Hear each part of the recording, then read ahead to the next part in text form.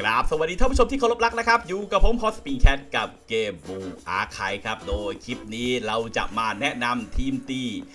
Grand Raid Boss Binah ในเมืองทั้ง 3 สีความยากระดับ Insane นะครับ โดยแต่ละทีมครับผมผมก็จะมีแนะนำแนวทาง และก็ในส่วนของแนวทางการ run สกิลให้ครบเลยและเราก็บอกว่าถ้าเกิดใครทำทีมไหนไม่ได้นะ หรือไม่มีตัวละครก็สามารถคอมเมนต์มาได้ครับผมนะเดี๋ยวผมจะรวบรวมข้อมูลครับผมแล้วก็ไปทำทีมอื่นรีวิวอีกทีหนึ่งนะ โดยทีมที่ผมจะใช้นะครับผมนะรอบนี้เนี่ยก็จะมี Binah เป็นทีมของลิสึครับ ส่วนตัวของ Binah ฟ้านะเป็นลิสึครับผมดีด้าแดงจะเป็นตัวของอารุกับฮีนะนะครับผมนะ แล้วก็ Binah เหลืองครับผมจะเป็นมิกะนะครับนะเดี๋ยวถ้าเกิดใครอยากให้เป็น main damage ตัวไหนบ้างนะครับผมนะถ้าทำได้ก็จะแสวงหาให้เลยนะครับ วันนี้ก็ไปดูกันเลยครับผมว่ามีทีมอะไรบ้างในการลุยนะครับ และเหมือนเดิมนะครับผมนะ หากใครต้องการเติมเงินเกมบูอาไคขอแนะนำบริการร้านเติมเงินเกมเรือจิโร่เติมเงินในแพ็กในเกมถูกกว่าเติมเอง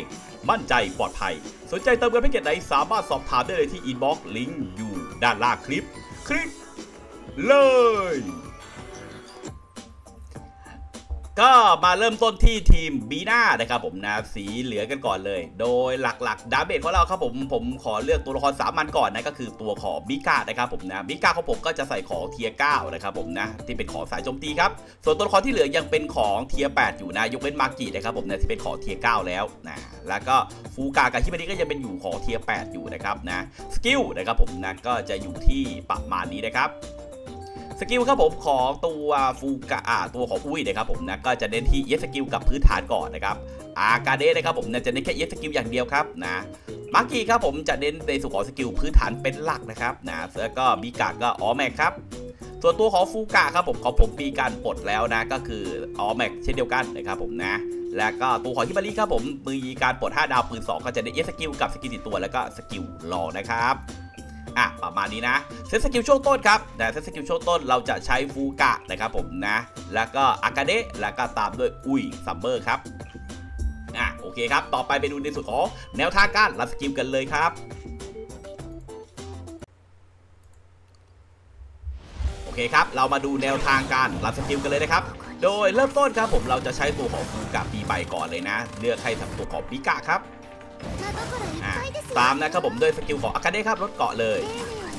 จากนั้นค่าคอสประมาณ6นะครับผมนะก็จะใช้ตัวของอุ้ยนะครับผมนะนะประมาณนี้นะ เลือกอุ้ยได้เลยครับ พอปากินปลากระป๋องสิบปุ๊บนะครับผมนะรอค่าคอสสิบครับนะค่า cost สิบก่อนนะ แล้วพอค่า cost ถึงสิบปุ๊บแล้วก็ปรับความเร็วครับผมเหลือหนึ่งนะครับนะ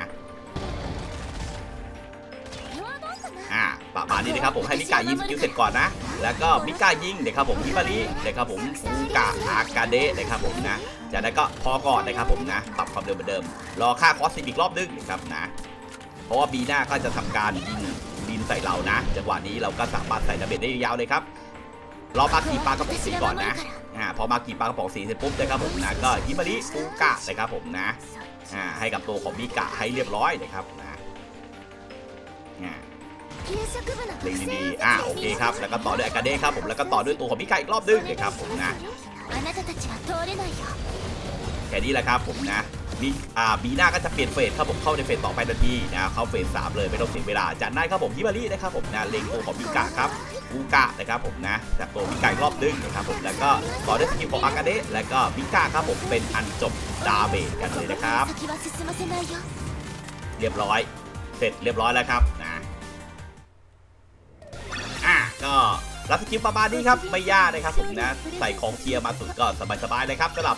ตัวของมิกานะครับ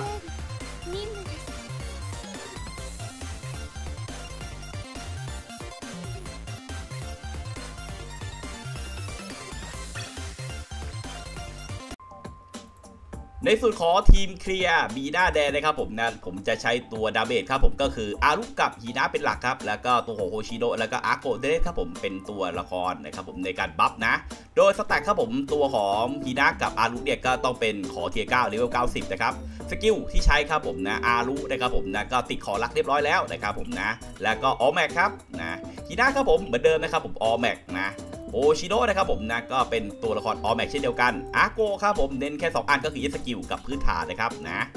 ส่วนตัวของนางิสะนะครับผมนะก็จะเป็นตัวละครที่เล่นออแม็กเช่นเดียวกัน แล้วก็ชิโรโกะก็เป็นออแม็กครับอะโอเคครับ เซตสกิลช่วงต้นนะครับนะลืมบอกไปเซตสกิลครับผมก็จะเป็นตัวของโฮชิโนะก่อนเลย แล้วก็ตามด้วยชิโรโกะนะครับผมนะเพื่อทำการเล็งนะ แล้วก็เซตของตัวอารุนะครับผมเอาไว้นะเพื่อจะได้ run หรือจะเซตอากิสไออาโกะก็ได้ครับ อันนี้ไม่ต่างกันเท่าไหร่นะอ่าโอเคครับ เพราะว่า 2 คนนี้เราจะ run สกิลติดๆกันเลย โอเคครับ เรามาดูแนวทางการ run สกิลของบอส Binah แดงกันบ้างนะครับ เริ่มต้นใช้สกิลของโฮชิโนะกันก่อนนะครับนะเล็งค่า cost ก่อนเลย จากนั้นนะครับผมนะเพื่อค่า cost 3เสร็จปุ๊บก็ใช้สกิลของชิโรโกะครับยิงลดเกราะให้เรียบร้อย และจากนั้นทำการรอค่า cost ประมาณ 7 นะครับนะในส่วนนี้ครับผมนะ ตัวสกิลของอารุก็ทำงานครับระหว่างนี้ก็ให้อาสกิลของอาโกะครับผม buff ให้เรียบร้อยก่อนนะอ่า buff เสร็จปุ๊บนะครับผมนะพออารุยิงสกิลพื้นฐานไปเสร็จปุ๊บก็ต่อด้วย EX สกิลทันทีเลยครับ อ่าจากนั้นครับผมรอค่า cost 5รับสกิลทีนะครับ แล้วก็ตามด้วยสกิลของนางิสะครับลดทั้งเกราะป้องกันเรียบร้อยแล้วก็ฮีน่าสามดอกครับอ่าฮีน่าสามดอกให้เรียบร้อยนะ แล้วก็ตามด้วยสกิลของโฮชิโนนะครับนะจังหวะนี้จะหมดพอดีเลย แล้วก็ตามด้วยสกิลของอารุทันทีครับอ่าเบอร์ยีน่าก็จะเปลี่ยน phase นะพอเปลี่ยน phase เสร็จปุ๊บนะครับผมสกิลของนางิสะครับผมนะกับชิโรโกะครับเปิดไปเลยลดเกราะให้เรียบร้อย จากนั้นครับผมนะก็ใช้สกิลของฮีน่าครับผมทำการยิงไป และระหว่างนี้สกิลของอารุก็จะทำงานเช่นเดียวกัน ก็จะจบฮีน่าทันทีนะครับนี่ปึ้มไปครับ และอารุก็ยิงซ้ำก็คือจบเรียบร้อยครับ เสร็จแล้วสำหรับบีน่าแดงครับ ก็รอบนี้โดนทั้งอารุทั้งฮีน่ายิงไส้แตกแล้วนะอะโอเคไปตัวต่อไปได้เลยครับ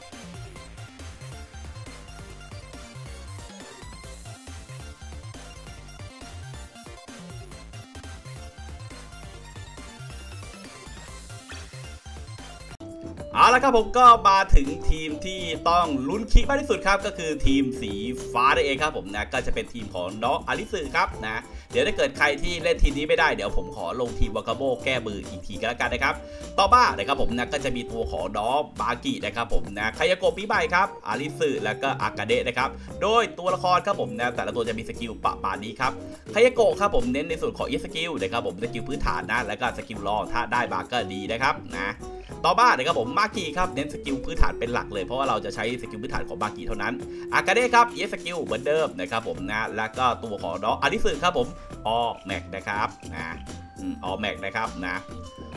ต่อไปครับผมก็เป็นในส่วนของตัวคอน special นะครับอาโกะนะครับผมเน้น all max เลยครับผมเพราะว่าใช้หมดทุกสกิลนะ แล้วก็ตัวของฮิมาริครับผมของผมปลดเป็น 5 ดาวปืน2แล้ว ดังนั้นก็เหมือนเดิมครับผม EX สกิลกับสกิลติดตัวครับนะส่วนสกิลรองก็ต้อง max เช่นเดียวกัน ถ้าเกิดใครปั้นฮิมาริยังไม่ถึง 5 ดาวปืน2ก็ใช้แค่สกิลกับสกิลรองเท่านั้นนะครับ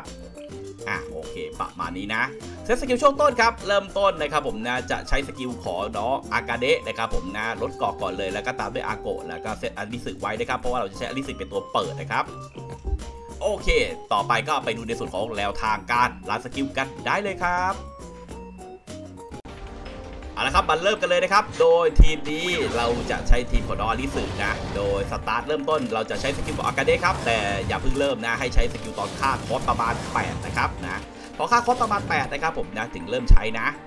อ่าพอ8ผมก็ยิงได้เลยครับ จากนั้นครับผมนะสกิลของคาโยโกะครับตอนค่า cost ประมาณ8 buff ให้กับอาริสึครับ จากนั้นรอค่า cost 10นะครับนะ แล้วก็ปรับสปีดเหลือหนึ่งครับ พอค่า cost สิบปุ๊บนะอาริสึนะครับผมฮิมาริอาโกะครับ buff ให้เรียบร้อยนะครับผมนะและก็ลุ้นให้ crit นะครับนะต้อง crit เท่านั้นนะจากนั้นครับผมรอค่า cost แปดไปเลยครับผมนะ ปรับสกิลเป็น 3 นะ รอแล้วก็ใช้สกิลของอากาเนะครับ ยิงไป แล้วก็รอค่า cost แปดไปเดิมใช้สกิลของคาโยโกะ buff ให้อาริสึครับเหมือนเดิมรอค่า cost สิบนะครับนะแล้วก็มาลุ้นคีกันอีกรอบหนึ่งครับ ก็พอค่า cost สิบปุ๊บนะครับผมนะก็ ตัวของน้องอาริสึฮิมาริอาโกะนะครับผมนะปรับให้เรียบร้อยนะปุ๊บแล้วพอคีย์เสร็จปุ๊บนะครับผมนะ ให้ลด cost ต่ำกว่า 10 หลอดให้ได้นะ อ่าถ้าเกิดบันทีนติดปุ๊บก็จะได้ต่ำกว่า 10 หลอดเราสามารถจะไป phase ต่อไปได้เลยพอ phase ข้อคอสามครับผมนะเราก็ลุ้นนะครับผมนะให้ค่า cost 10เหมือนเดิมอ่าจากนั้นก็ยิงไปนะครับผมนะค่า cost 8เหมือนเดิมนะครับผมรอค่า cost 10อีกครั้งหนึ่งครับนะอ่าแล้วก็ตามด้วยอาริสึนะครับผมนะฮิมาริอาโกะนะครับนะ ปรับให้เรียบร้อยนะครับนะ แล้วก็ถ้าเกิดบอสไม่ตายก็ต่อด้วยสกิลคนอื่นไปนะครับผมนะ อะประมาณนี้นะครับนะ ต้องไปลุ้นครับผมในส่วนของ buff ของน้องอาริสึแหละครับให้ยิงติดคีนะครับนะ ก็ถ้าเกิดติดคีเราก็สามารถทำเวลาได้ง่ายขึ้นนะครับนะถือว่าเป็นทีมที่ลุ้นคิที่สุดแล้วนะครับนะโอเคสำหรับบีด้าอีเซก็เท่านี้นะครับ ขอบคุณที่ฟังจนจบครับ พบกันใหม่คลิปหน้านะครับ บ๊ายบายย สวัสดีครับ